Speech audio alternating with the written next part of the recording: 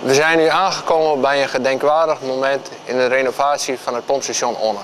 Ik sta hier nu in de ruimte waar tot voor kort de drie uh, dieselmotoren stonden.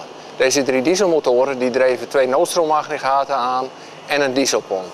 Na 50 jaar trouwe dienst worden de motoren verwijderd. De demontagewerkzaamheden die zijn in volle gang. Twee motoren die zijn inmiddels al verwijderd en op transport gezet. En de derde die gaat er deze week nog uit. En daarna gaan we in deze ruimte drie nieuwe hoge drukpompen inrichten. En dat zal de komende periode zijn, uh, zijn beslag krijgen. En ik sta nu bij de pomp die er van, eerder van de week al uitgehaald is. Deze pomp is uh, de grootste pomp die we binnen Waterbedrijf Groningen gehad hebben. Met een capaciteit van ongeveer 2000 kub.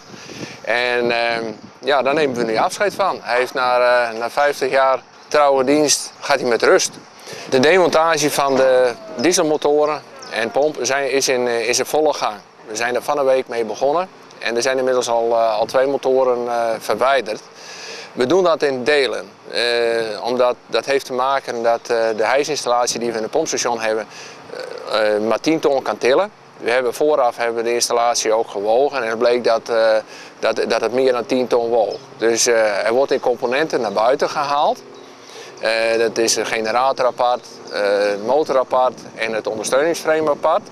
Uh, dat wordt na elkaar naar buiten gehaald en dan vervolgens weer geplaatst in een, in een container, wat hier achter mij gebeurt. daar wordt het weer samengebouwd en dan vervolgens wordt het op transport gezet. En de eerste die staat inmiddels klaar om verwijderd te worden of afgevoerd te worden. En de tweede, dat loopt nog.